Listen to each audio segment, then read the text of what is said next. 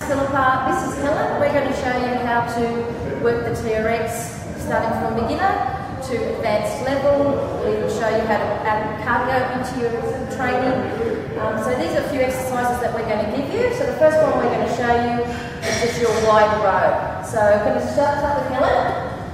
Okay, so a good starting point is where your hands can touch your chest. You lean back. Alright, and make sure that your abs switched on. Your palms are down and we're going to row. So take elbows nice and wide and back. Nice and smooth. You can see Helen's got her abs tucked in and she, as she comes up, she squeezes the back of the shoulder blade. As you get good at this move, you can progress by walking your feet a smidge underneath you. And then she's going to go again. Beautiful. Alright, so you can see that how you progress.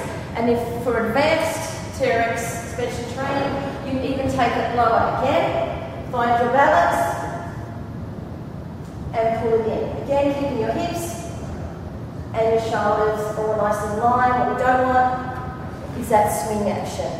As soon as that happens, you'd walk your feet back out, find your place again where you've got nice technique.